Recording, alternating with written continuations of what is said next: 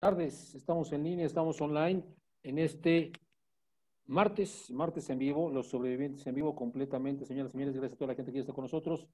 Yo soy Bulmaro Ponce, saludo a mi compañero Leo del Arte, ¿cómo estás, Lito? Muy bien, muy bien, buenos, ah, buenas tardes. Ahora sí tengo que decir la hora porque pues estamos en vivo. Bienvenidos sean todos ustedes, gracias por estar con nosotros. Yo, Marito, con mucha información, más que, más que información también, con grandes invitados el día de hoy. Hoy iniciamos una etapa, una etapa nueva, ¿no? Aquí en Los Sobrevivientes y pues bueno, así sea como sea, estamos en vivo y transmitiendo. Gracias a todos aquí por estarnos siguiendo. En vivo y a todo color damos la bienvenida al señor Tomasín. ¿Cómo estás, Tomás? Muy bien. Oye, me está diciendo Tomás que hoy tenemos un invitado, mi querido Lito. Va a estar con nosotros en un ratito más Gustavo Lara, cantante. Estamos escuchando uno de sus éxitos. Eh, pues pegó, pegó fuerte. Tú al escuchar la letra la vas a recordar perfectamente bien. Y tú seguro se la, se la dedicaste a alguna de tus novias. A ver. Aliento con aliento. Aliento con aliento, sí, esto. Pero fíjate que Gustavo Lara, pues ahorita ya nos va a platicar un poquito más sobre su vida, sobre su proyecto y demás. Es un cantante, es compositor, es músico, arreglista, y pues bueno, la verdad es que es grande, ¿no? Eh, dentro de su carrera, su trayectoria, tiene ahí algunos, algunas personas que lo han seguido y que lo, tienen de un concepto como una buena persona, un gran profesional de la música. Y ahorita él nos va a estar contando un poquito más sobre su vida y sobre sus próximos proyectos. Padrísimo, señoras y señores. Gustavo Lara, no se vayan en unos momentitos más. Mientras tanto, oye, Lito, eh, ayer ya no pudimos platicar por haber estado en la entrevista con con el sensacional Juanito Soler. La verdad que yo volví a ver la, entrevista y estuvo buenísima. Cómo se te va a ti la onda, luego se me va a mí la onda, luego se le va a él la onda. Eh, pues es obviamente esto de hacer las, las grabaciones flat como platicamos y que estábamos, pues estábamos grabando en vivo, ¿no? O sea, Así es. Eh, bueno, son cosas que luego, sí, claro. Te fuiste tú, se me fue la onda a mí en el audio y luego Juan, que ya no pudo entrar, pero fíjate que me gustó mucho que Juan eh, publicó ahí en su, en su red, no sé si lo viste, que puso, me gustó esta entrevista como charlar entre amigos. Y, luego, tuvo jale, ¿eh? tuvo jale ahí con sus admiradoras. Sí, bueno, llegaron algunos mensajes, los cuales agradecemos mucho a la gente que escribió en redes sociales. Nos escribieron en una radio. Ahí hubo una persona que nos pedía fotos de nuestro querido Juan Soler pero este, pues ya, eh, de verdad, ya se había salido de la cabina, ahí sí. Eh, de hecho, no, no alcanzó a decirse como, como estaba, pero yo creo que le haremos llegar el mensaje y ya que él le mande las fotos sin ningún problema, esperemos que sí se pueda. Si no, no comprometemos a nadie y, será en la próxima entrevista ya en cabina pudiese ser con mi tío Juan. Pero gracias a todos aquellos, tuvo buen jale, como dices, muy buen jale. Tuvo buen jale, mi tío Lito, ya estoy viendo ahorita aquí ya este cómo va, cómo va la transmisión. Ahorita mientras vamos platicando voy a, voy a compartir rápidamente, señor Dolarte. Y este, bueno, déjame compartir rápido aquí con, los cuates y comentarles, mi querido señor Dolarte, que bueno, estamos en Facebook como una radio, estamos en el famoso YouTube como una radio MX, en Twitter estamos igual como una radio MX, pues para que nos siga toda la gente ahí y nos den por favor un like, nos recomienden y podamos pues crecer esta familia, esta familia de una radio y esta familia de los sobrevivientes de Survivor. Señor del Arte, más adelante vamos a tener también una sección, eh, igual estamos transmitiendo en vivo precisamente por esta sección, que estamos estrenando allá en Sudamérica, Lito. Sí, así es, vamos a empezar a transmitir en Sudamérica una, hubo ahí un acercamiento por parte de una persona eh, con iniciativa que pues se nos acercó, nos hizo una propuesta, la analizamos y creo que va a ir muy bien, ¿no? Va de la mano, lo importante es romper fronteras y conocer y aprender de ambos países, de ambas naciones, y no solamente de estas dos, porque donde estaremos transmitiendo ya de parte de nuestra amiga Rosy, que es la que va a estar con nosotros los martes, en Ecuador, en Ecuador. Entonces, este, ella ya les va a estar platicando más adelante de qué trata la sección, qué es lo que nos va a traer, qué información, qué es lo que quiere difundir y todo demás. Así es que hoy por eso les mencionábamos que teníamos un día lleno de entrevistas, de invitados, de información Que por, por cierto, eh, mi querido Marito, la verdad es que ayer pues nos sacó de onda este tema de, de, la muerte de, de, un grande de la tecnología, ¿no? En su momento fue muy grande. Fíjate que sí, por eso no pudimos, como te comentaba, eh, mencionarlo el día de ayer, mi querido Lito, pero eh, ayer 5 de octubre cumplió ya, eh, 2000, de, bueno, desde el 2011, imagínate, ya fueron 19 años, 19 años de fallecido el señor Steve Jobs. este genio, aunque no descubrió, aunque no fue él directamente el que inventó todo eso de la tecnología porque tenía grandes, grandes eh, pues, colaboradores, eh, sí tuvo mucho que ver, tuvo mucho que ver, por supuesto, con la grandeza que es el día de hoy Apple. Y por ello la gente de redacción, señor del arte, nos manda 10 cosas que no sabía usted de Steve Jobs, precisamente por la conmemoración de ayer de su fallecimiento. Y son 10 cosas del el señor Jobs. Señor del arte, el punto número uno es Stephen Paul Jobs nació un 24 de febrero de 1955 en San Francisco, California. Él estaba casado con Lauren Powell, tuvo cuatro hijos y muere un día como ayer, 5 de octubre. Tenía 56 años y esto pues está tras perder la batalla contra el cáncer, el cáncer de páncreas. Ah, imagínate, la verdad es que cuántas veces no hemos platicado eso, que a pesar, a pesar de que eh, son grandes mentes las que pueden eh, desarrollar tecnología como es Steve Jobs y también grandes que tienen eh, todo el dinero y todas las posibilidades de poder tener un buen tratamiento. A veces la enfermedad no perdona a nadie, La enfermedad se lleva a cualquier persona, Así, así con quien sea, siempre va a haber este tema de las enfermedades. Pero bueno, no pudo superar este, este tema, así es que es una de las cosas que sí está, está, está muy, muy, muy fuerte, ¿no? Pero, mi querido Marito, la verdad es que eh, de los datos también que, estamos nosotros diciendo, hay otro que a mí, no sé si tú lo sabías, pero aparte de que eh, Steve Jobs y, y, todo, era un budista zen, ¿sabías eso? No. Era budista zen. Eh, luego de trabajar con Atari en 1974, ¿quién no tuvo un Atari? Digo, no, yo, yo jugaba Atari. yo sí, yo sí tuve mi Atari, mi querido señor del arte, y era una maravilla. ¿eh? Sí, era, era fantástico. Digo, yo también tuve mi Atari y todo, pero bueno, en 1974 yo todavía no nacía. Ya cuando yo tenía el Atari era del videojuego viejito que te, ya te prestaban los primos, ¿no? Ah, tú juegas con ese, ¿no? Y ya jugaba con ese y me entretenía un rato. Pero bueno, eh, luego de trabajar con Atari en 1974, Jobs viajó a la India por siete meses para encontrar una iluminación espiritual. Al regresar a Estados Unidos, adoptó muchas de las costumbres zen encontró durante, durante la estancia en aquel país, tales como la meditación regular, caminar descalzo y el pesen, ¿cómo se le conoce? Pesetarianismo, pesetarianismo, así tal cual, pesetarianismo. Es decir, única, o es decir, únicamente comía carne de pescado, pese, pesetarianismo, pesetarianismo. Pesetarianismo de pez, ah, ok, fíjate. Pesetarianismo, o sea, puro pez, puro pez. Así es, está como el cantante este, Emanuel, es del mexicano, ¿no, Emanuel? Ajá, es mexicano, ¿a poco come puro pez? Dice que come puro pescado, ajá, en una entrevista que le hicieron, dice que come puro pez, puro pescado, puro o sea, toda variedad de mariscos, pescados o pescado nada más, ajá. puro pescado come. ¿Cómo ves? Oye, pues con razón está tan flaco, Emanuel.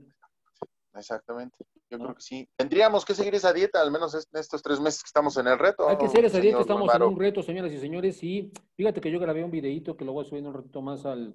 por favor, por favor. De cómo estoy haciendo ejercicio para que veas que sí es neta, Muy bien, este se le ven las facciones. este viernes, viernes 9 de octubre, nos tenemos que pesar, señor del arte, un ah, servidor y también nuestro amigo Roger allá en Los Ángeles, California, aceptó el reto. Así que se tiene que empezar también Roger y tenemos que ver cómo vamos ganando. El reto eh, empezó apenas, son tres meses y vamos a concluir en diciembre. Entonces es ahorita nada más un avance. En diciembre, el 9 de diciembre precisamente es como, como el primer cierre y es ahí donde ya vamos a ver qué, qué es lo que vamos a hacer con quien, con quien pierda, con quien haya perdido menos peso, pues. Oye, Lito, punto número dos, Jobs fue creador del juego Breakout. Ahorita que te lo enseño vas a ver cuál es. Este juego en el que una pelotita, pues muy pequeña, está botando, ya sabes, tit, tit, en la barra, que pueden ah, moverse de un lado a otro. Y mira, lo voy a poner aquí a la antigüita. Vean cuál es. No, ese sí, sí, era fantástico. Te pasabas horas jugando ese, ¿eh? Y ya cuando ibas pasando de nivel, la pelota iba más rápido. y tenías que ir cachando la pelota. Fue el creador, fíjate, fue el creador de este juego. Bueno, la verdad es que también es una de las cosas que yo te puedo compartir que eh, me desesperaba y aventaba el juego, ¿no? Decía, ah, ya, esta madre. Ah. Un poco desesperado yo, la neta. Oye, pero bueno. Y el, y el, Tetris también, ¿no? Era de clavarte ahí y estar jugando. Sí, sí, sí, sí. El Tetris era fantástico y más cuando caían así más rápido y más rápido y más rápido y esperabas tanto el cuadro el, o el cubo que cayera ahí, no caía y perdías. Pero bueno. Oye, otro de los puntos que tengo aquí, eh, fue uno de los fundadores de Pixar, ya más adentrado en esto. Fue uno de los fundadores de Pixar, la empresa responsable de las películas como Toy Story, Monster Inc.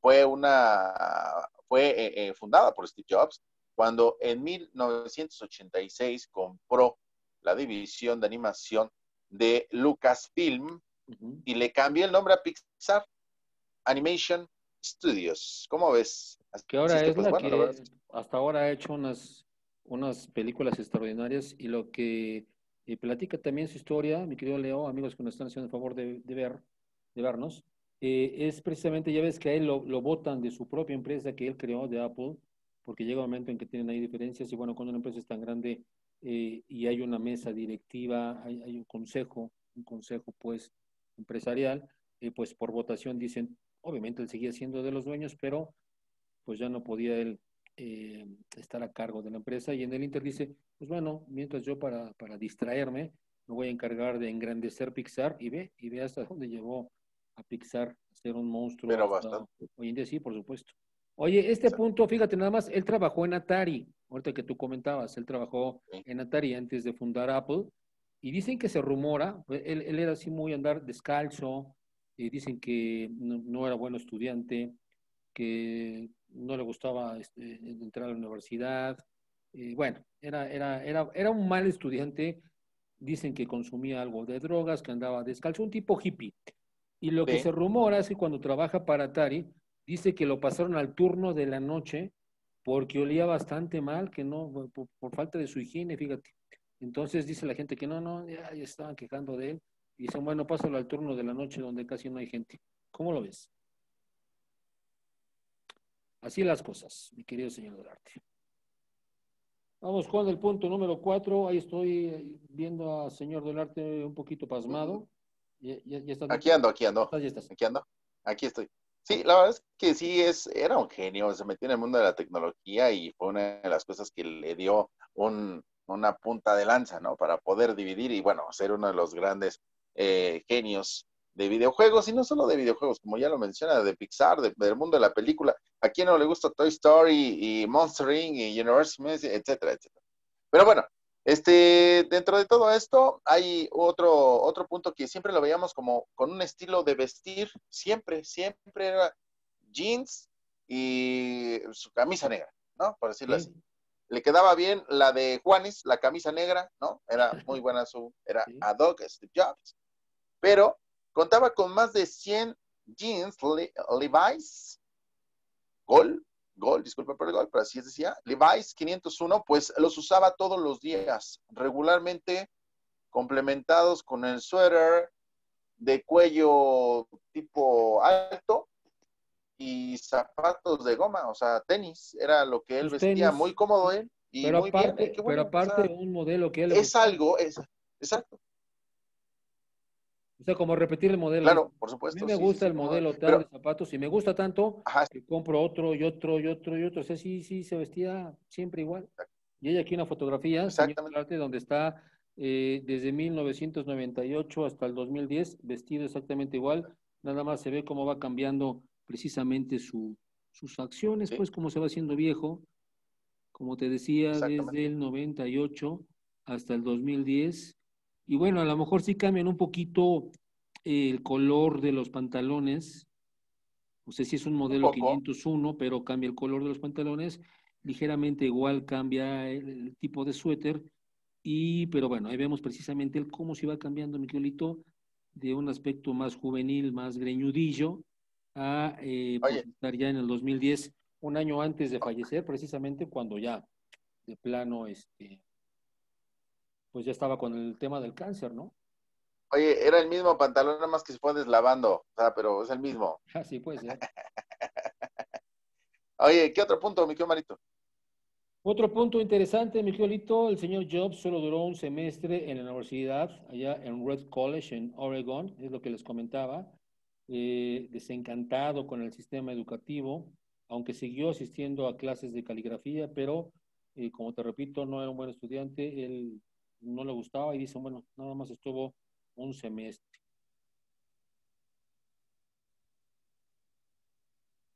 ¿Estás ahí, Milito? bueno, mira, yo creo que también eh, el estudio no se le daba no tanto porque fuera una... Aquí estoy, aquí estoy, aquí estoy, aquí estoy. Yo creo que eh, el, el, estudio no se le daba no porque fuera burro o algo así, ¿no? O, de bajo aprendizaje o de nivel de, sino yo creo que le aburría porque él estaba en otro, en otro mundo, ¿no? Él estaba como metido en otras cosas y por eso es que no aguantaba tanto estar escuchando como las clases de algo que pues, tal vez no le apasionaban. Pero bueno, otro punto, su hermana es Mona Simpson, pero él no lo sabía hasta que se convirtió en un adulto. ¿Cómo lo ven? Órale. ¿Y eso cómo fue? Mira, Mona Simpson, Mona Simpson, eh, una novelista famosa a finales de los años 80, cuyo, cuya primera novela fue Anywhere But Here.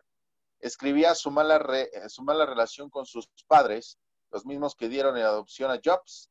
Más tarde fue buscada por Jobs en los años 90. Muy bien. Oigan, y último punto, porque ya tenemos aquí a Gustavo listo para entrar, me dice Tomás. En el verano de 1974, señor Dolarte, él viajó a la India para un retiro espiritual, del cual regresó precisamente practicando filosofías budistas. Eso es lo que fue el señor Steve Jobs, algunos de sus puntos, sus puntos interesantes, eh, evidentemente, pues un hombre que llevó a su empresa a los cuernos de la luna y la rescató varias veces precisamente de, pues del punto de quiebre, ¿por qué no decirlo, no? Ahorita, inclusive en la, en la época de cuarentena, es una de las empresas que han seguido facturando millones y millones de dólares. Mi querido Leo, amigos que nos están haciendo el favor de ver, es hora de que ya Tomás, por favor, dejes entrar, deja entrar mi hermano, a Gustavo. Ya viene Gustavo. Vamos a platicar con él. Eh, extraordinario, extraordinario en su música. Ahí lo vemos que se está conectando. Lo recibimos con esta película, con esta película, ¿eh? con esta, canción. Aliento con aliento. Gustavo, ¿cómo estás? Gusto verte. Hola, ¿qué tal? ¿Cómo están? Aquí estamos, mi hermano, completamente en vivo, transmitiendo en el Facebook y con el gusto de tenerte aquí en Los Sobrevivientes de una Radio. Y bueno, platicar contigo, platicar contigo de tantas cosas, Gustavo, que eh, tengo entendido que estás casi a punto, digo casi a punto porque este año se nos vio rapidísimo, el año que entra cumples tu 50 aniversario y vas a estar sacando disco, querido Gustavo. Bien, bien, este, pues el, el 22 de marzo cumplo 50 este, la verdad es de que no me siento de 50, pero siento como de 60. este, ha, sido, ha sido una vida de muchos eh, pues disfrutes. He disfrutado mucho lo que me ha tocado vivir. Este, ser popero en México eh, es, es eh, de alto riesgo. este, pero ser noventero más todavía, ¿no? Porque tienes que sobrevivir y, y capotear la historia. Entonces, la verdad que muy contento de, de estar, eh, pues ya casi cumpliendo años y de estar celebrando también un disco nuevo, que, que eso también hoy, hoy para nosotros es un lujo, ¿no? Oye, ese disco, me decía Leo, Leo, Leo del Arte, que está también con nosotros, eh, es un último lanzamiento. Hola, Gustavo, ¿cómo estás? Julio del 2020, ¿no? Apenas lo acabas de, de lanzar. Sí, este, saco el primer sencillo que es Porque tú, que es una salsa. Entonces, eh, digo, yo la verdad es de que eh, desde hace tiempo vengo yo pensando que uno tiene que hacer la música que le hace feliz, eh, independientemente de cuáles sean las cuestiones de moda o tendencias y todo eso, que siempre he estado yo en contra de eso, ¿no? De, de, seguir una tendencia simplemente por, por estar ahí en la fila, ¿no? De, pues, pues no sé, de, de, esta gente que quiere estar en los medios tradicionales pero que hoy en día siento yo que la gente hoy lo que está pidiendo, o eso es lo que yo quiero creer, mi parte romántica, ¿no? Que la gente sigue creyendo en, el, en el talento, en las canciones inteligentes o emocionales, ¿no? Claro. Esta claro. que estamos escuchando de fondo, mi querido Leo. Está bastante buena, ¿eh? Tiene muy buen ritmo. muy movida, claro. Oye, pero, oye, Gustavo, te, quiero preguntar algo, o sea, ¿por qué, por qué ese cambio? ¿Por qué de, salsa a, pop? Y porque sabemos que tú ganaste un disco de oro en Ecuador, eh, que no fue fácil ganar un disco de oro y creo que no cualquier persona se gana un disco de oro. Entonces, eh, ¿qué fue lo que pasó ahí? ¿Por qué? ¿Por qué este cambio tan drástico? ¿Por qué de repente esta disyuntiva? Porque mira, obviamente tú ves qué es lo que están haciendo los demás artistas como referencia y todo el mundo está haciendo reggaetón. Entonces, y, aparte, reggaetón horrible, ¿no? Este, la verdad es de que no, no siento yo que sea música que aporte algo.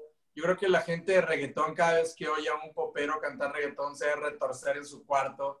Este, así como, como los poperos antes cuando nos hacían una canción en cumbia, decíamos, no manches, güey, ¿cómo hacen eso, no?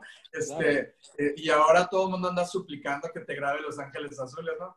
Pero, pero la verdad es de que, de que yo soy de acá de Veracruz, es un género que conozco desde niño, desde que mi papá me obligaba a escucharla, este, y ya en la adolescencia me di cuenta que acá en Veracruz en una época, en una hora de la fiesta, ya sea un baile o 15 años, no sé qué, ahí es donde ya la gente como con un poco de tragos ya le sale lo veracruzano, ¿no? Lo, Primero todo el mundo es nice y ya después, ya como después de varias cervezas y varios tragos, y ahora sí ya todo el mundo es jarocho. Entonces ahí es donde aparecían estas canciones de Willy Colón, Héctor Lavoe, Fania, este, Rubén Blades. Entonces yo me las sabía todas entonces, cuando yo empiezo a cantar acá en Veracruz, en bares y todo esto, pues yo de repente cantaba una que otra salsa media popeada. Entonces, es un género que yo conozco, que lo llevo acá y, y, te digo, de hacer reggaetón, pues decidí mil veces mejor hacer salsa, ¿no?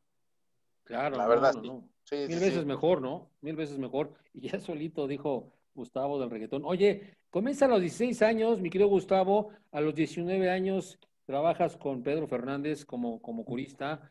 Eh, ¿cómo, ¿Cómo llegaste con Pedro Fernández y qué relación tienes con él actualmente?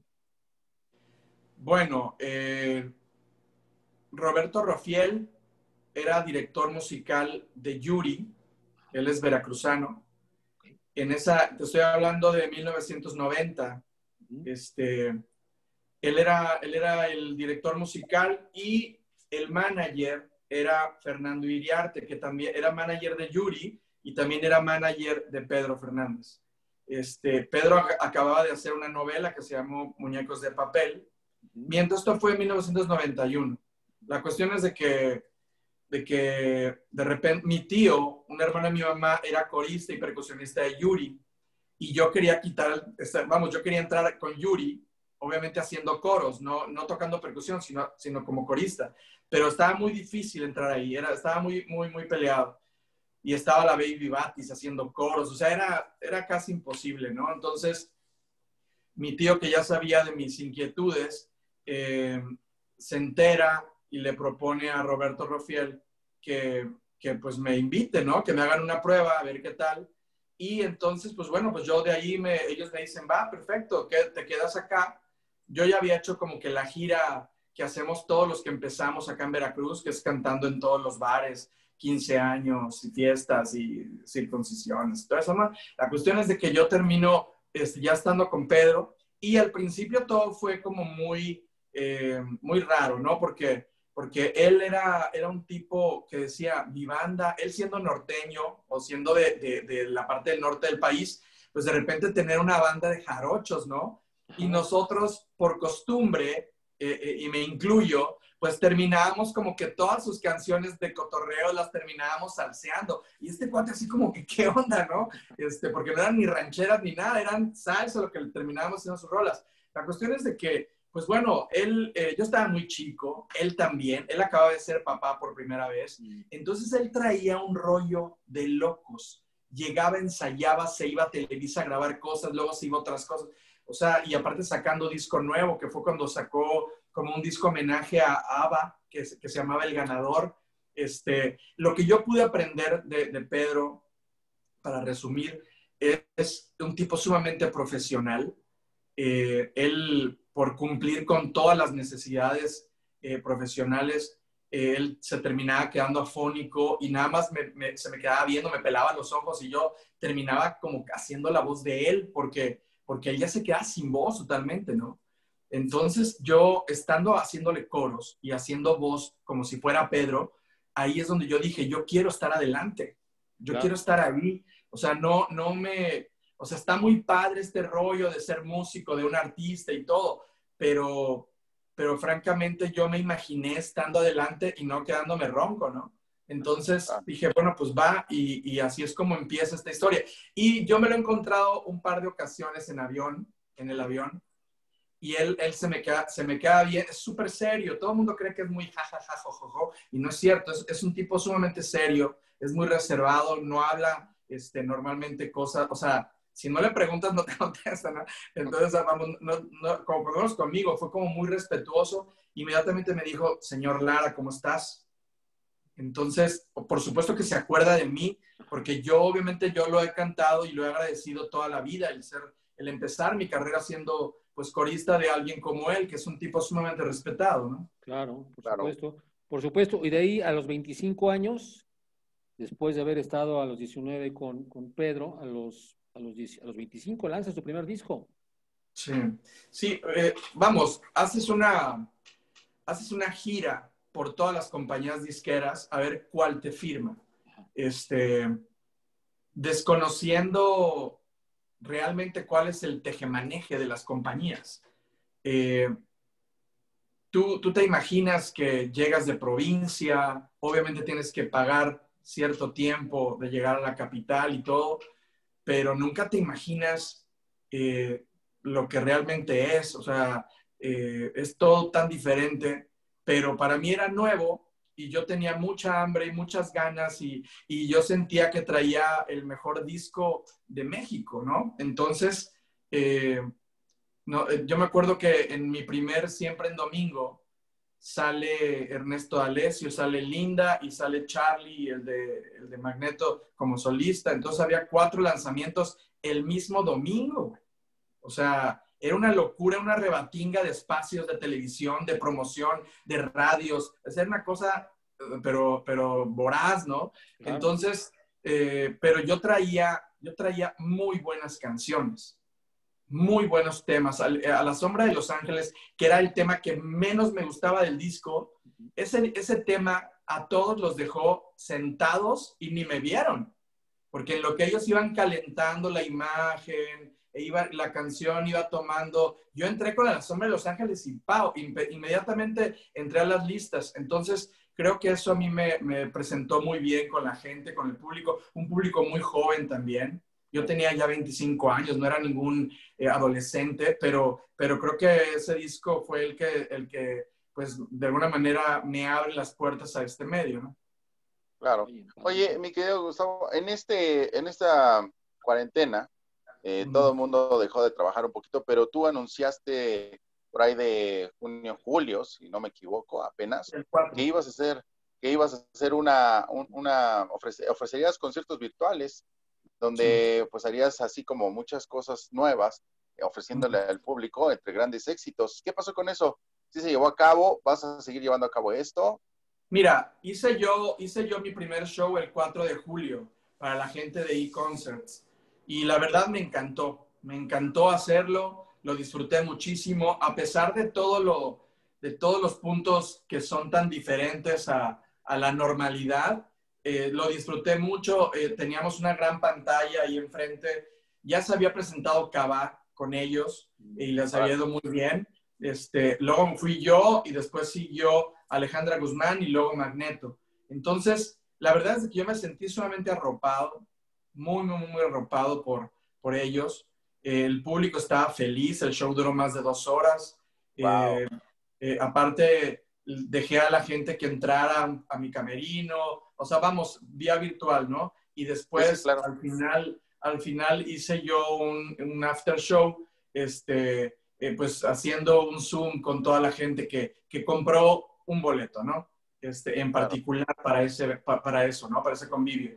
Entonces yo lo disfruté mucho y tenía anunciado otro para el 26 de septiembre, pero mira, yo, yo ya me enfermé dos veces de COVID. No me eh, digas. Y cuando, ajá, y cuando, cuando te enteras y está dudoso que, que hay gente que está contagiada y aparte es gente que tú quieres, no es nada más cualquier persona, ¿no? O sea, si a mí me dicen, oye, fíjate, un cuate de iluminación parece que salió enfermo, digo, bueno, pues que lo cuiden en su casa, ¿no? Que no salga, que tome las precauciones y todo. Pero ya cuando te dicen a alguien cercano, pues obviamente ya, ya tú tomas otro tipo de, de, de acción y sobre todo, eh, pues bueno, yo ahora dejé México, dejé la Ciudad de México como base y me regresé a Veracruz. Entonces ahorita estoy con mis papás y mis papás ya tienen 80 años y 76. Entonces, este, pues los tengo que cuidar full.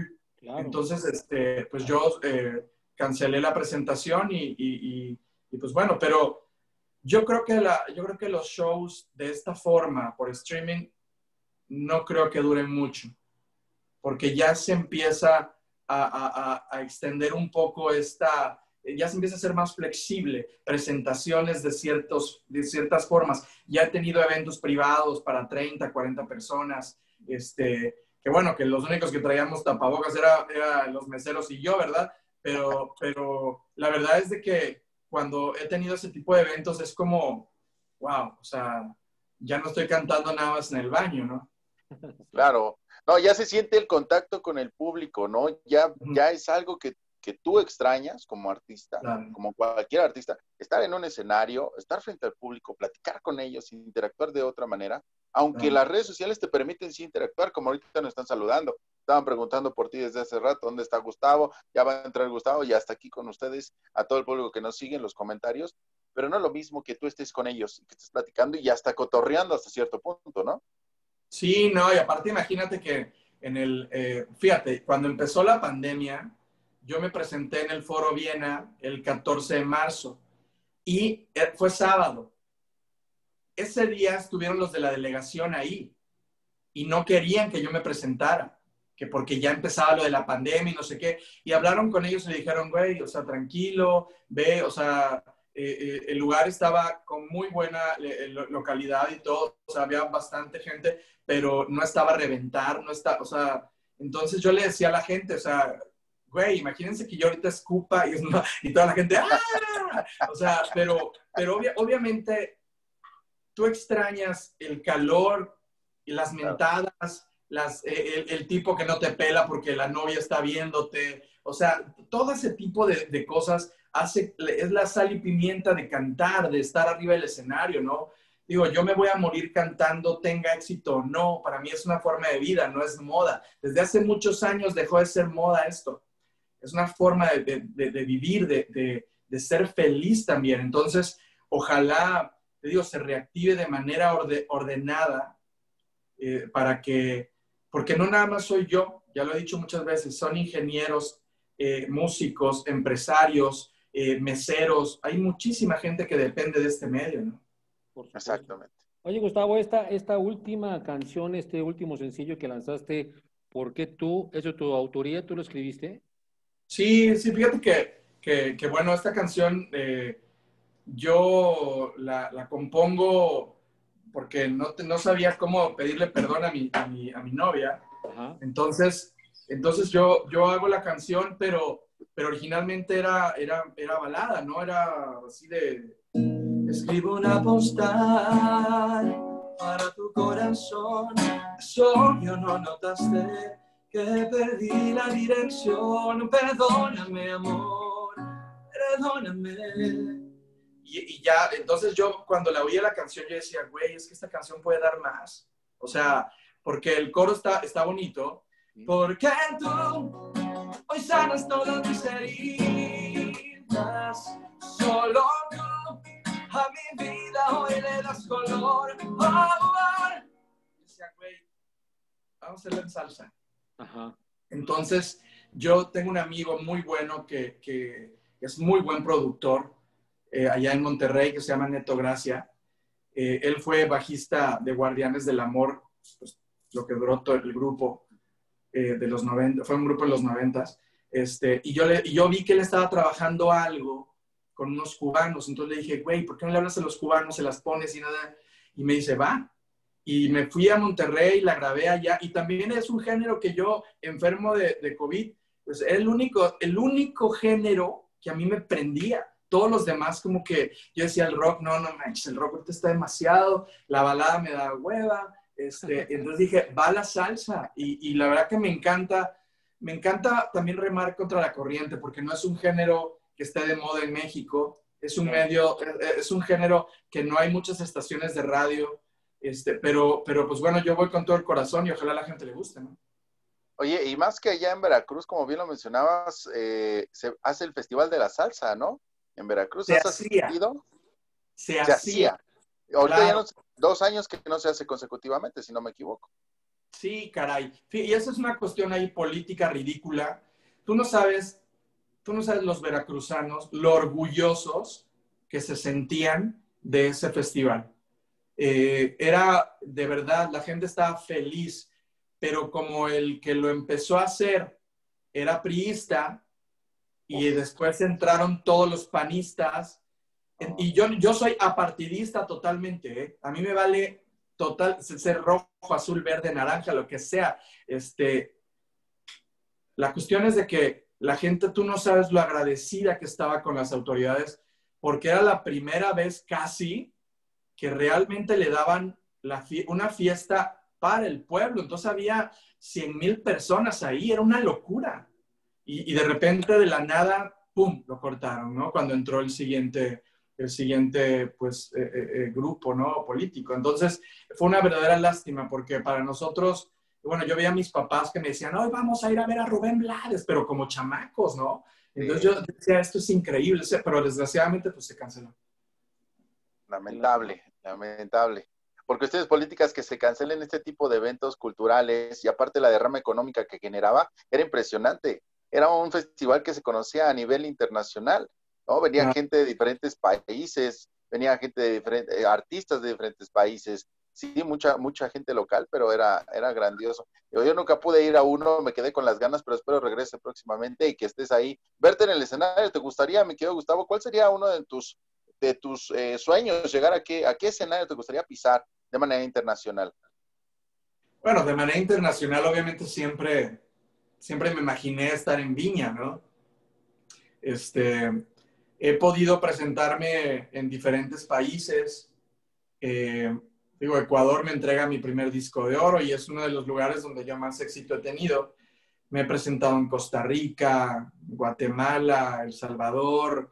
Este, nunca he ido, bueno, de todos los países de América, los únicos países que, no, que nunca me he presentado ha sido Chile, eh, ha sido eh, Brasil y Colombia. De ahí en fuera me he presentado en todos. Eh, en Estados Unidos también, en Canadá no.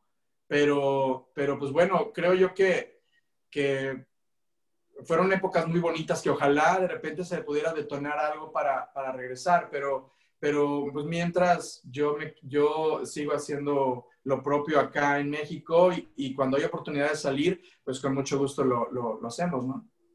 Oye, mi Gustavo, ¿cómo te ha tratado independientemente esta cuarentena? Independientemente de que te dio COVID todo eso, pero veo que, que estás fuerte, haces pesas. Pues lo que quisiera hacer son pesos, cabrón. pero, pero fíjate que, que, acá en Veracruz estoy retomando hacer, hacer ejercicio en la Ciudad de México, ustedes saben lo complicado que es hacer ejercicio, no nada más por la contaminación, güey, sino porque en la esquina te, te, bajan los tenis, güey, ¿no? Este, o sea, desgraciadamente, yo viví 26 años en la Ciudad de México y yo te puedo decir que yo me siento chilango. O sea, o sea, soy orgullosamente veracruzano y todo y demás, pero, o sea, mi papá me decía, si hablas como chilango, si manejas como chilango y hueles a chilango, pues eres chilango, ¿no?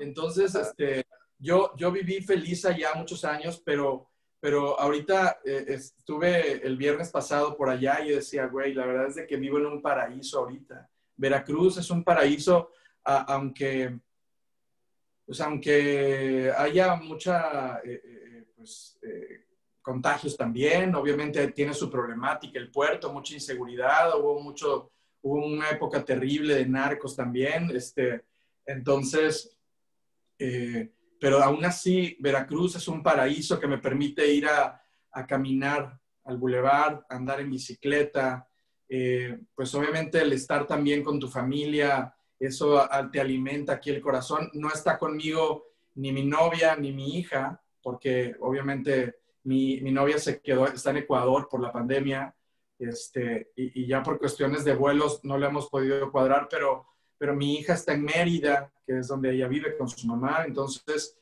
eh, pero de ahí en fuera, la verdad es que yo me siento sumamente feliz de haber eh, eh, decidido venirme para acá. Padrísimo, pues ojalá te puedas traer pronto, mi querido Gustavo, a tu novia de Ecuador acá a Veracruz. Y antes de despedirte, mi querido Gustavo, ¿por qué no nos aventamos una, una bohemia? Te platico rápidamente. Nosotros todos los viernes, un viernes sí y un viernes no, hacemos bohemia. Este viernes va a tocar bohemia, vamos a tener ahí a, a Dan, un, cantante igual que estuvo en la voz y muy buena voz. Pero hemos tenido de, todo tipo, pero nos falta alguien como tú, alguien así con esa voz extraordinaria que escriba sus propias canciones. Ya vi que tocas la guitarra muy bien. Yo dije, bueno, a lo mejor eh, Gustavo no toca la guitarra, pero la tocas extraordinario. ¿Por qué no nos acompañas un, un live que sea para ti solito, para que estés con tus fans? con nuestro público que te conozco también aquí no te Sí, claro, con mucho gusto. Sí, por supuesto. Yo lo, yo lo único que le digo a la gente es, toquen mis canciones para que la gente se las sepa, ¿no? Claro, claro. Este, y, y, como sea, y con todo el cariño y con todo el gusto, yo, yo la verdad es de que, te digo, hago esto, muchas veces mis papás me dicen, oye, ¿y, y todavía crees en? Y digo, claro que creo en la música. O sea, eh, aquí la cuestión es de que, de que ahorita se está pasando por un momento sumamente difícil, desde los artistas de moda hasta los que no somos de moda. Entonces, eh, eh, hay que ponernos a trabajar, hay que ponernos a hacer cosas. Entonces, si quieren, cuadramos, cuadramos este, el, la bohemia y con mucho gusto, ¿no? Para que más gente se entere. ¿No? Yo, yo, yo, lo que le digo a la gente, vamos a hacerlo con tiempo para que se haga una buena promoción, lo hacen ustedes, lo hago yo y, y le hacemos ahí el clic, ¿no? Adelante. Oye, antes de, antes de que nos vayamos, mi querido Marito, bueno, eh, de despedir a mi querido Gustavo, eh, aquí te mandan saludos eh, Jaduchis González, dice hola Gustavo. Eh, ya se nos fue exactamente Leo cuando te estaba. Ahí estoy, ¿no? Ahí estoy, ah, ¿no? Bueno, te escuchamos, ahí estoy, ahí, ahí, estoy. este, también ahí dice, los cambios son buenos, pero definitivamente el pop y el romanticismo siempre será lo tuyo, Gus. Eh, por ahí Roger Rodríguez de Los Ángeles, California, que nos está viendo. Gracias, Roger, siempre presente. Saraí Córdoba fue un, maravilloso concierto. Yo creo que el de Ecuador, me imagino. Rosy Bravo, Ecuador te recibirá, Ecuador te recibirá, Gustavo, siempre. Eh, te extrañamos en Ciudad de México. Ya de Guillén, eh, se te quiere, Gus. Y pues bueno, siguen ahí algunos, algunos comentarios. Muchísimas gracias de verdad a la gente que está escribiendo y que nos está viendo. Coordinamos de manera oficial la, la bohemia, mi querido Gus, le damos una difusión este, merecida y va a estar genial porque me, imagino que ese, ese eh, set en el que tú te encuentras, que bueno, es tu casa, me imagino, es el que sería para la bohemia y estaría perfecto, se escucha muy bien. Ahorita que cantaste un poquito, este se escuchó bien, aparte la voz ayuda, y creo que está bien ecualizado, ahí tendríamos que hacer algunos arreglos. Yo hablando muy técnico, pero ya este sería la cuestión de, ponernos de acuerdo, mi querido Augusto, ¿te parece? Sí, claro, claro que sí, con mucho gusto. Con mucho gusto. Y, aparte también saludar a toda la gente que está conectada, mandarles un abrazote, un beso, este, y, pues bueno, estar, estar en contacto con la música, creo que eso también este, le da tantita paz al corazón, ¿no? Entonces, que sigan escuchando mis canciones, ojalá les guste. Ya voy, voy a seguir sacando música pero pues mientras vámonos con Porque tú, que, que, que pues bueno, que es la más reciente, ¿no? Me parece muy bien. Pues Oye, este, redes sociales, redes sociales, redes sociales, por favor, Gus, ¿dónde te vemos? ¿Dónde nos suscribimos? Spotify, ¿dónde te escuchamos?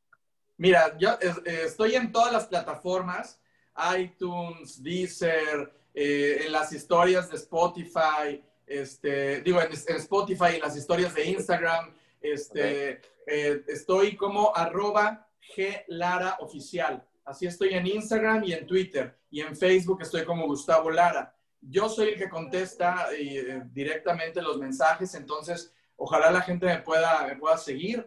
Eh, y también te digo que escuchen mis canciones, desde las más viejitas hasta las más recientes, ¿no? Para que más o menos sepa, pues, cómo, cómo hemos girado en la música en ya estos casi 24 años, ¿no?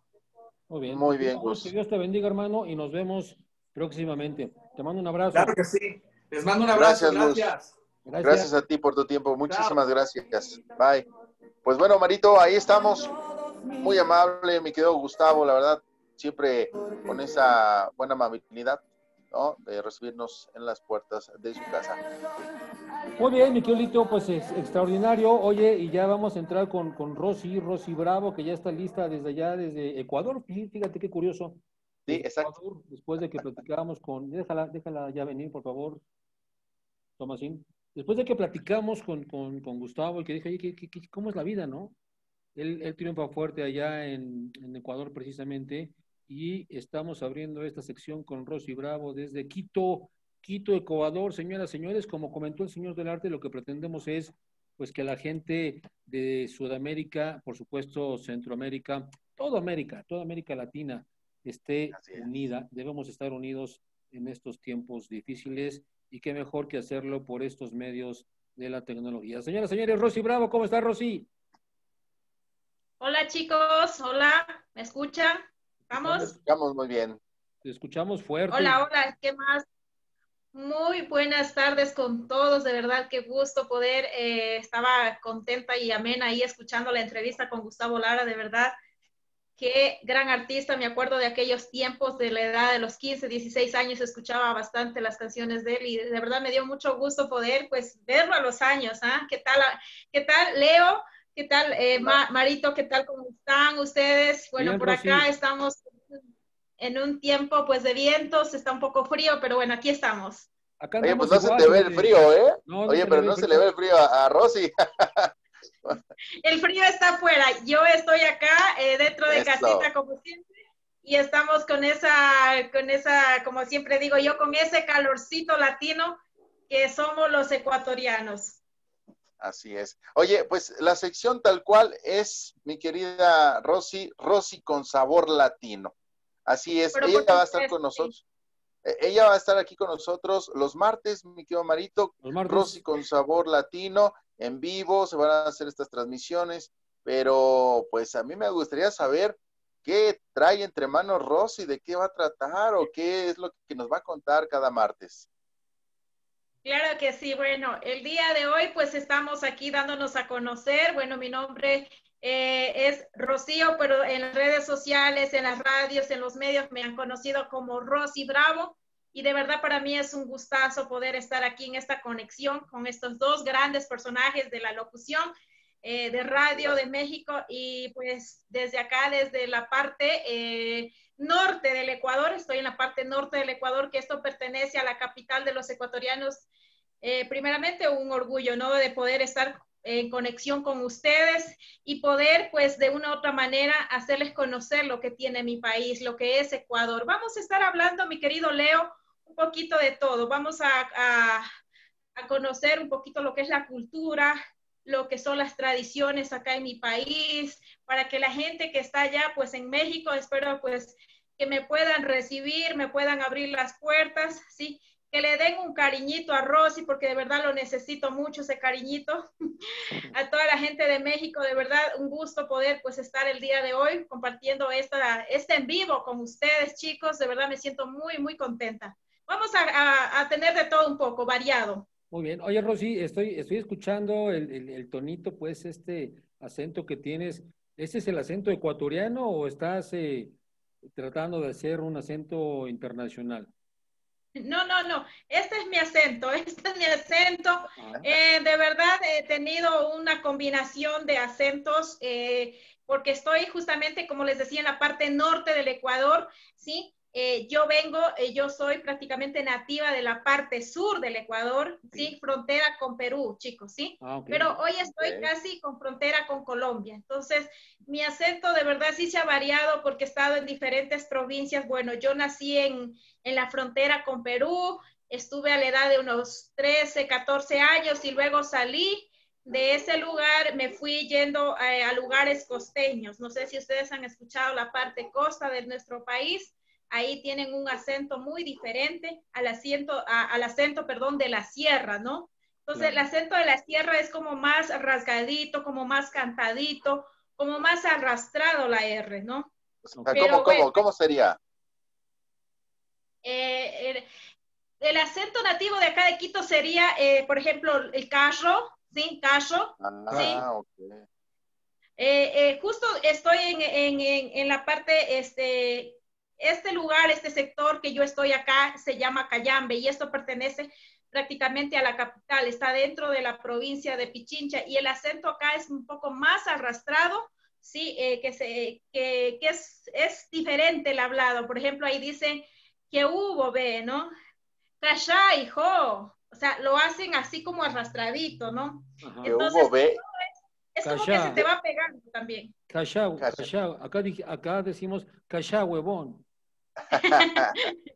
Acá en, en el nativo es el hijo para todos lados, ¿no? Que hubo, pez, a dónde te vas pez, y así, ¿no? O sea, por decir pues, lo dicen incluso pez los jóvenes. Entonces sí, es, sí hay una variación de, de, los acentos dentro de nuestro país. Y, si te vas para lo que es la decimos que es otro acento. Acá decimos que pex. Acá decimos que pex con X. ¿Qué pex? Ah, que pex. Pero es como decir, ¿qué onda? No, es como decir, o sea, sí, ¿qué, qué, qué pex, Rosy? ¿Cómo te fue, no? O sea, es como decir, es, es referencia a eso, ¿no? Podemos, También podemos decir que Pedro, que Pedro Pablo, ¿sí viste tú los picapiedra? Sí, sí, claro. Ah, pues así, así que Pedro Pablo. Pedro Pablo. Eh, lo, que me gusta de ustedes, pues bueno, tienen una manera de hablar muy libre, muy suelta el hablado, ¿no? Eso me encanta. Les he estado mirando las transmisiones, chicos, de verdad. Gracias, Rosy. Y cuando dicen, órale, padre. Órale, qué padre. Órale, güey. Órale, qué padre. Oye, Rosy, ¿cómo, ¿cómo nos escuchas a nosotros los mexicanos cuando hablamos? Porque nosotros, bueno, según yo y según los, los, los mexicanos, hablo de aquí, pues de la Ciudad de México, según los citadinos, no tenemos acentos. Aquí mismo en la República Mexicana, pues es muy grande y de repente sí, si tú te vas, por ejemplo, al norte, te vas a Guadalajara, te vas a, te vas a Monterrey igual, pues igual hablan de repente así, ¿no? Como que tienen su tonadita. Y Leo hace poquito me lo llevé allá a Guadalajara que se echaron unos tequilas y ya estaba hablando como Jalisquillo, ¿te acuerdas, Lito? ¿Cómo hablaba? Oh, hablábamos así como que, ah, ya quiero que echarme unos ya quiero echarme unos tequilazos, ¿no? Es que no sé, tengo que estar ahí para hablar tal cual, se pega, se pega. agarramos el... Sí, no, yo agarro el acento. lo que le quería preguntar a, a Rosy es, ¿cómo nos escuchas a nosotros los mexicanos? Cuando hablamos, ¿cómo, cómo, cómo, cómo nos oímos? Me encanta, me encanta la manera del acento que ustedes tienen, que no sé, eso digo, tienen una forma de hablar y de expresar eh, las cosas eh, de una manera más suelta, ¿no? Quizás acá en nuestro país, pues sí hay un poco de, de como se dice, como que uno se cohibe un poco, pero eh, esto más pasa en la parte región sierra, pero en lo que es la región costa, pues ahí el lenguaje también es suelto y es de otra manera, es, es como como, como diríamos, las palabras incluso cambian, ¿no? Cambian, de la costa a la sierra cambian. Oye, oye, Rosy, y, bueno, a ver, cuéntanos un poquito más de ti. O sea, tú te dedicas a la locución desde hace cuánto tiempo, ¿qué estudiaste? ¿Dónde has estado? ¿Qué has hecho? Háblanos un poquito más de ti para que, bueno, la gente que está conectada ahorita te conozca un poco más. Me, retrocedo al tiempo, entonces, me retrocedo al tiempo. La verdad, yo creo que la vocación la tuve desde niña, ¿no? Porque tuve una infancia diferente, rara, como siempre lo digo, pero yo creo que fue una infancia bonita, porque ya desde niña... Eh, no sé, miraba la televisión o, o escuchaba las radios y decía, yo algún día voy a estar ahí, yo quiero estar ahí porque me encantaba mucho. En vez de jugar, creo que cogía un libro y leía, ¿no? Me encantaba mucho la lectura desde niña.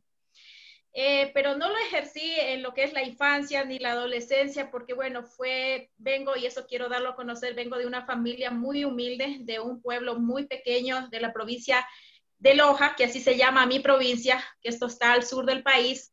Em, en ese tiempo, pues a uno los papás le enseñaban a que debe uno aprender a trabajar, ¿no? Y ayudar, en este caso, en casa, aparte de que, bueno, uno tenía que ir a la escuela y todo eso.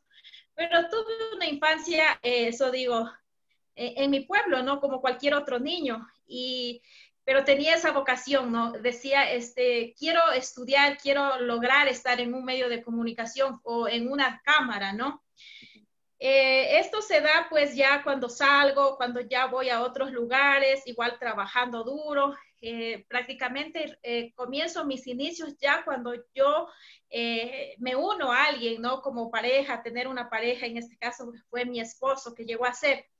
Ahí es cuando este, alguien me dice, oye, a ti te gusta la radio, porque yo te veo que te encanta la radio. Mira, aquí hay una oportunidad en tal radio, ¿te gustaría, te gustaría ir a hacer un casting, a probar de pronto?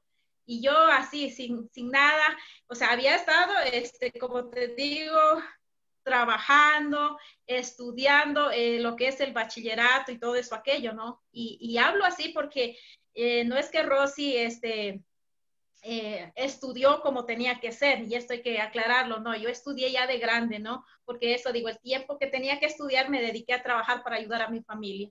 Pero luego, luego, pues lo hice al estudio, ¿no? Lo hice en, en como decir en estos días que, que, a mí me tocaba este, estudiar, por ejemplo, un fin de semana, pero lo terminé al bachillerato y ahí es cuando ya después termino y me dicen, no, a ti te gusta la radio, pues tienes la oportunidad, vamos, eh, vamos para que hagas el casting. Y la verdad, yo no es que había estudiado radio ni nada de eso, pero ya escuchaba las radios y decía, quiero aprender, quiero hacerlo. Entonces de ahí comienza este sueño en radio y y, no fue fácil, fue duro, pero este, lo, lo, logro, ¿no? Con esfuerzos, con dedicación, con mucha responsabilidad.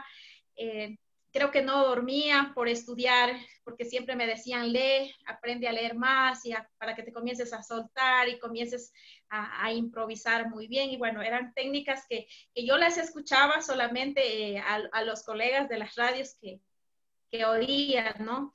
Y de ahí empieza este sueño de, de incursionarme en lo que son medios de comunicación. Yo creo que esto ya viene haciendo unos 10, 12, 13 años por ahí ya de radio, ¿no?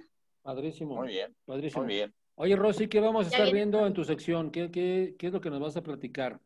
Eh, tienen mucha comida ustedes, una comida muy rica, ya vi yo unos platillos allá. Eh, tienen mucha cultura también, por supuesto. Y bueno, lo que se pretende en esta sección es conocer Ecuador, pero luego también conocer Colombia, y luego conocer Perú y conocer Venezuela, y bueno, básicamente conocer toda América Latina, ¿no? Yo creo que sí, esta es la idea y yo creo que esperemos poder seguir adelante con el proyecto y la idea, como digo, es poder, eh, por medio de lo que es hoy la tecnología, el Internet, poder eh, enlazarnos, ¿no? Como digo, estoy aquí en Ecuador y, hacer como que estuviera allá en México para toda la gente que está mirando la transmisión que por ahí miro. Así que saludos para todos. Yo sé que hay muchos ecuatorianos allá radicando en México y espero pues que, que puedan recibir también el apoyo, porque uno cuando está eh, eh, iniciando algo y quiere pues de verdad el apoyo de toda la gente. Muy bien.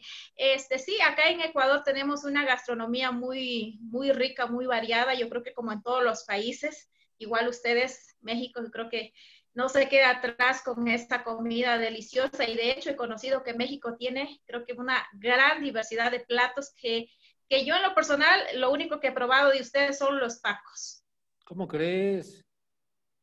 ¿No, has comido el mole? ¿No has comido mole, por ejemplo? No he comido el mole, no he comido como... Eh, tengo una amiga, tengo una amiga de...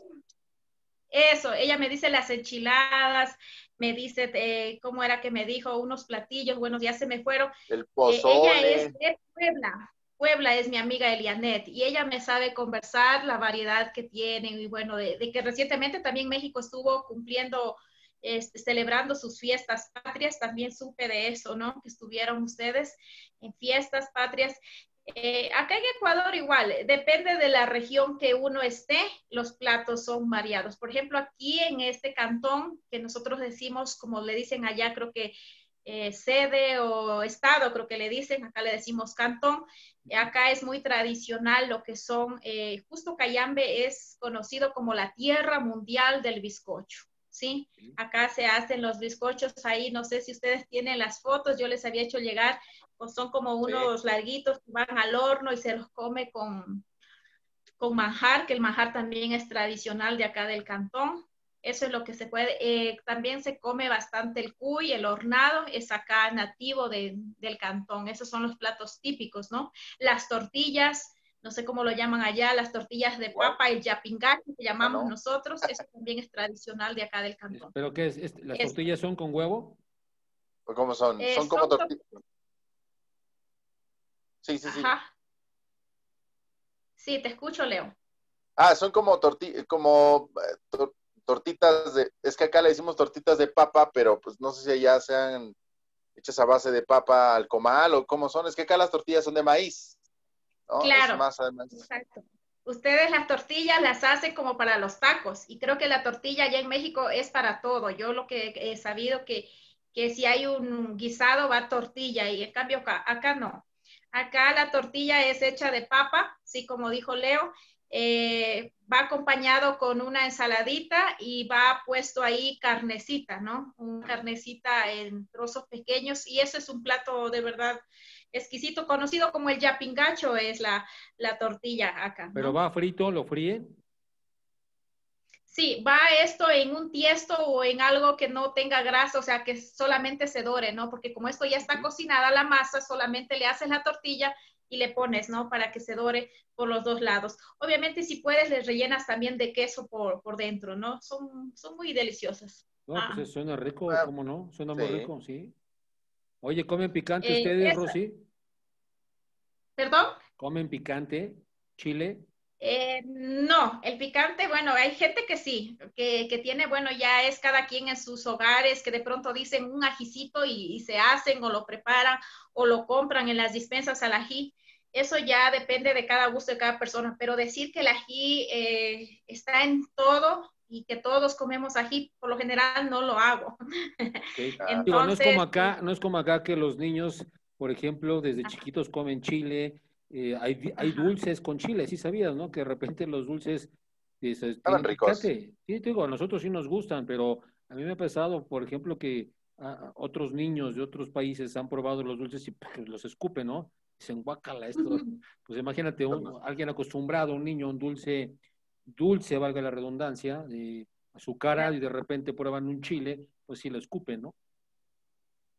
Claro, eh, yo pienso que, y justamente yo hablaba también con, con, el grupo de chicos que tengo ahí, justamente, y me decían que uno como es de cada país, tiene su cultura, su gastronomía, y de pronto probar una comida, pues que, que no es de tu país, en este caso hablábamos de México, Argentina, eh, de, bueno, de otros lugares, y decíamos que quizás no nos va a gustar, ¿no? Porque vamos a sentir quizás un sabor diferente, pero yo pienso que esto ya es cuestión de irle adaptando, ¿no? Y de irse adaptando también, y, y, y qué, y qué bueno es poder abrirse también un poquito la mente y decir, no, ya quiero probar este, esta comida de pronto de México, probar la sazón.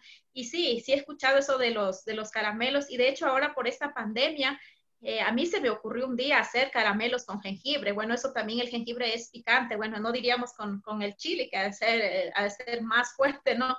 Entonces, yo pienso que, que ustedes como, bueno, mexicanos eh, son, creo que más conocidos por eso, ¿no? Por el picante que son. Y, aquí va mi pregunta también, ¿no? De, saber que ustedes comen chile, que son, eh, que les encanta el condimento, o sea, el, lo picante. ¿Cómo son los ecuatorianos? Me imagino, en todo sentido, calientes. ¿Cómo los vemos? ¿Cómo vemos a los ecuatorianos? Ajá, ¿cómo son ustedes en la parte pues personal? De pronto, eh, porque acá se dice comes harto, comes harto ají, acá le conocen el ají, ¿no? Comes harto ají y te vas a poner bravucón, te vas a poner enojón. ¿E-, ¿Eso es cierto o es solamente un mito de eso, de que dicen que comes harto chile y, y los mexicanos de por sí son ardientes, candentes, calientes, bueno, como le quieran llamar? Este, no, pues yo no sabía eso, ¿eh? Yo no sabía eso. No, yo tampoco. A lo mejor ahora entiendo, ahora entiendo por qué somos así, ¿no? Ajá, no es. Ah, este, no, yo nunca había escuchado que por comer chile fuéramos ardientes, pero Eh, Pero son conocidos así, son conocidos. Sí, ¿no? Sí, son conocidos. Que, el pero, mexicano... pero a ver, ¿ardientes de qué manera? O sea, ¿cómo? O sea, ardientes de, de, de corajudos, de muy con muy, pocos tolerantes. De, de, garra, de fuerza, de, de, todo mismo. Y si nos vamos ya a la parte íntima, pues yo me imagino que ustedes tienen la respuesta, compañeros. Ah, ya. Eh, Rosy se refiere de sexoso. Sí, somos bien sexosos. Sí, eso sí, pero no hace falta comer chile. Eso ya es natural. eso ya lo tenemos en el ADN. No, pero es que por algo yo creo que, eh, bueno, eso digo, como he podido conocer un poquito la cultura, ¿no? De México, de otros países y, y dice, y bueno, y en el grupo dicen, no, los mexicanos somos ardientes, somos así. Y digo, en serio, ¿verdad? Es porque comen harto chile, ¿no? hay, hay, hay estados, hay estados que comen más picante, ¿eh? Hay estados que comen más picantes que otros. En el norte, por ejemplo, eh, no se, no se consume tanto el picante y otros platillos allá están más eh, pues hechos a, a, las, a las costumbres americanas, ¿no? Pero a lo mejor un norteño te va a decir, oye, los norteños son de abotas y comen mucho, este, digo, sí comen salsa, pero no, no tanto como otros estados. A lo que voy es que cada quien igual tiene sus costumbres, pero lo que sí te puedo decir es que todos los mexicanos, todos los mexicanos somos ardientes y picantes. ¿Sí o no, Lito? A fuerza que sí, la picardía mexicana se conoce creo que en todo el mundo. Ecuador, Ecuador prepárense porque vamos adelante a tener unos calientes. Vamos a ver si podemos eh, imitar eso, ¿no? De, verdad, y a mí lo que me gusta también de ustedes, la manera de hablar es una manera suelta, tienen una manera de expresar las palabras también. Eh, quizás acá en Ecuador suenan fuertes, pero son, yo creo que es normal o, está bien que ustedes las pronuncien así. Y, y sí, sí, sí he tenido e, esos amigos que, que, que, yo les he visto pues en los grupos que saben hablar de esa forma, ¿no? Claro, hay gente que no le gusta, ¿no? Pero en mi caso, por ejemplo, yo digo no. Yo creo que el ser humano tiene que expresarse tal cual es y, así es bonito, ¿no? Como tú me mencionabas, ¿de qué acento tengo? Pues yo, este es mi acento y no sé, no estoy imitando. Sí, a veces como que me sale el órale. Ah. Muy bien. Perfectamente bien. Oye, Lito, pues no sé si antes de despedirnos, eh, y ya, ya, ya de programa, si tengas ahí algún comentario en el Face. Este, mira, ahorita, bueno, ya los últimos comentarios que nos hicieron llegar fue precisamente de, pues gracias chicos por el taco de ojo, hablando obviamente de, de este, del tema de nuestro querido Gustavo, también aquí pues nos mandan likes, este, saludos de la Ciudad de México, eh, Roger que está allá en Los Ángeles, California, que también ahí nos sigue, y pues bueno, Aquí ya fueron hasta ahí los que se pudieron rescatar porque ya no pude bajarle.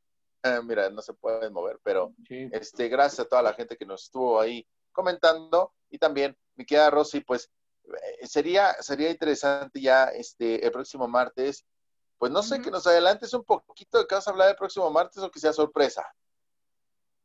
Eh, bueno, este, quería extender un poquito lo que son la gastronomía, platos típicos de acá del Ecuador y en base a eso, pues también estaremos ahí haciendo unas preguntitas, eh, bueno, como para que la gente también se anime a participar o de pronto a comentar, a dar su opinión y, y ver si es que de pronto alguien ha venido acá y le ha gustado, cómo le ha recibido también Ecuador este, qué tal si ha sentido acá en nuestro país y viceversa, ¿no? Porque también hay mucha gente que viaja a México y de pronto eh, quisiera también para que la gente nos diga cómo les han tratado allá en México, porque esto es así, ¿no? Somos ida y vuelta.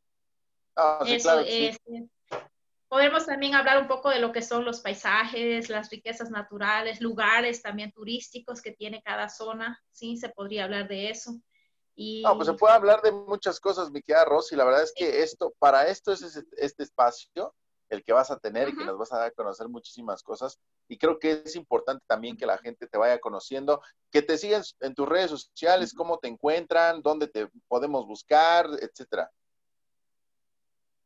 Eh, estoy como Rosy Bravo, lo que es en Facebook, en Instagram igual estoy como Rosy Bravo, creo que en todas estoy como Rosy Bravo, me pueden encontrar ahí. Eh, Rosy es con C, eso nomás quiero aclarar porque a veces le ponen con S y, y, la Y, ¿no? Rosy es con C y la I normal, o sea, no hay ningún cambio. Rosy Bravo, sencillita así, como soy yo. Este, en TikTok también por ahí me animé a hacer algo, la verdad soy malísima haciendo los TikTok, pero bueno, ahí también igual estoy como Rosy Bravo. Eso, entonces la gente que, que también pues este, quiera este, apoyarme, la gente que está en México, de verdad un abrazo gigante para todos que quienes van a mirar o quienes están ya mirando la transmisión de verdad me gustaría que me den esa oportunidad de entrar, ¿no? Eh, en lo que es un ladito de México y poder pues también darles a conocer. Ahí estamos eh, así como Rosy Bravo nada más para cualquier eh, cosa. Este, no, no hay, no hay nada de, de, de, de, raro, ¿no? Igual a ustedes, compañeros, creo que ya los tengo también localizados en las redes sociales porque sí se me hizo un poco complicado no poderles tener, pero ya los tengo ahí. Fácil, fácil, Rosy, amigos que nos están viendo, Leo del Arte está siempre, siempre en todo como Leo del Arte, en TikTok, en Twitter, en Facebook, en todos lados. Y yo también fácil estoy como Maro Ponce, Maro Ponce, en todo, en TikTok. Ahí subimos unos TikToks eh, chistosos, este Leo y un servidor, donde hicimos, llevamos dos retos apenas, ¿no? Digo, dos videos. Es apenas uno, es apenas, son dos videos, el del reto y el del videojuego. Exactamente, pero este, bueno, para que también nos sigan ahí y vean lo del reto que estamos haciendo de perder de peso, por si alguien se quiere unir. Uy, el reto de peso, eso me gusta.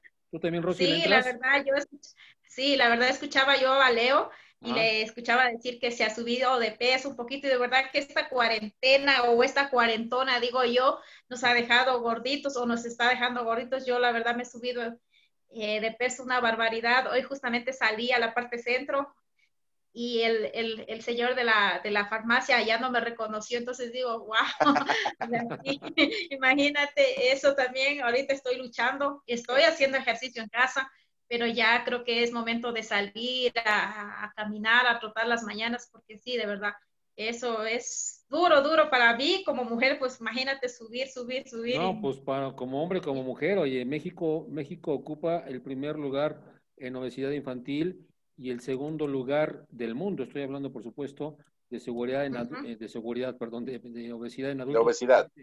Entonces, eh, esto añádele la, la pandemia, la, la, cuarentena que llevamos desde marzo, pues no. Lo que tienes que hacer entonces, Rosy, es pesarte. Tienes que grabar un videíto, un videíto con tu celular, pesarte, ver cuánto pesas, eh, unirte a nosotros este viernes, el 9 de octubre, nos vamos a volver a pesar. Nosotros ya llevamos un mes te vamos a dar una ventaja pues a ti, pero entonces el 9 nos tienes que mandar tu videíto, rápido, que no se te vea la cara ni nada, nada más que se vea ahí lo que pesaste, para que dentro de un mes, el 9 de noviembre, nos volvamos a pesar los tres, en este caso Roger también allá en Los Ángeles que le entró, y toda la gente que se quiera este, unir, pues podemos pasar aquí los videos claro. como avance, ¿no? Oye, algo que te vea, bueno, se me estaba pasando, era que cómo le vamos a hacer, o sea, sí se va, se une Rosy, bueno, ya, pero ¿cómo le vamos a hacer este con esta Wendy que dijo que nos iba a dar ahí un, un, tratamiento? Pues podemos arrancar, ¿por qué no la invitamos el otro martes?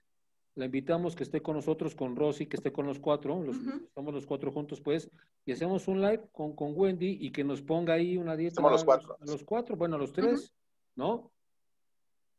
¿Por qué no la invitas, Leo? Va, va, va, va, me late, me late. La voy a invitar, la voy a invitar y aquí, ya está. ¿Y qué tal, chicos, para las dietas, ah? ¿Qué tal las dietas, ¿qué tal son?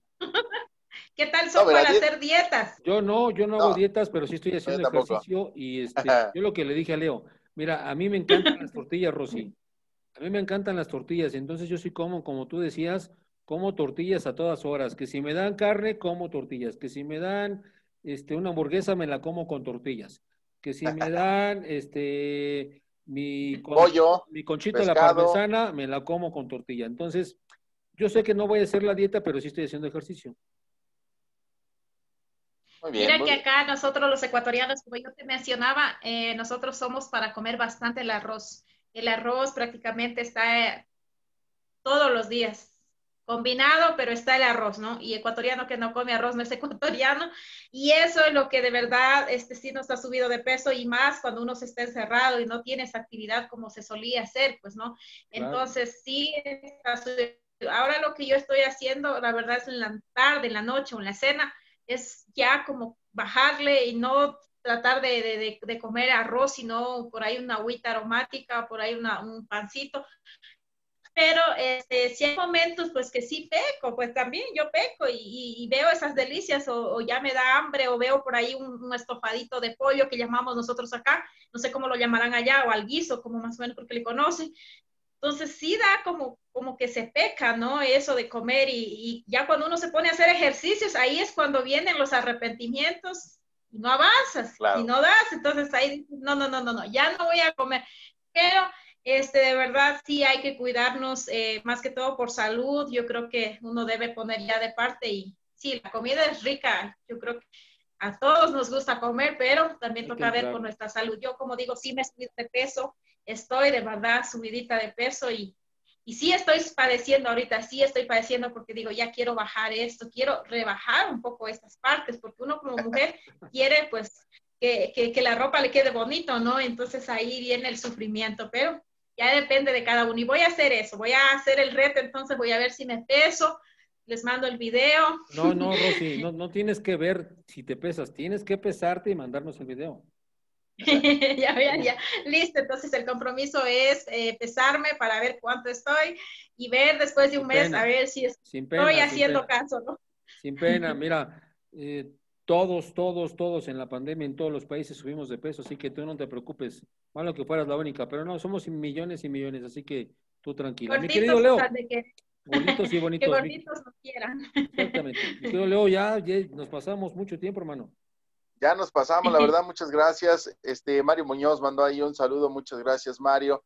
También Humberto Vélez, gracias por estarnos saludando muchísimas gracias ahí por mandar saludos. Vámonos, se nos acabó el tiempo. Gracias, Rosy. Te agradecemos muchísimo que eh, hayas estado con nosotros y que aparte que ya vas a estar con nosotros de manera oficial los martes. De verdad, muchísimas gracias. Gracias, Marito. Gracias por todo esto. Gracias a Gustavo que estuvo en la entrevista y gracias a ustedes que estuvieron conectados también por sus comentarios. Tengan excelente día, tarde, noche hasta mañana. Esto fue Los Sobrevivientes. Mi nombre es Leo Dolarte. Adiós. Bye bye. Nos vemos. Chao. Hasta el próximo martes. Compañeros, cuídense y estamos nuevamente el martes, ¿no? Chao.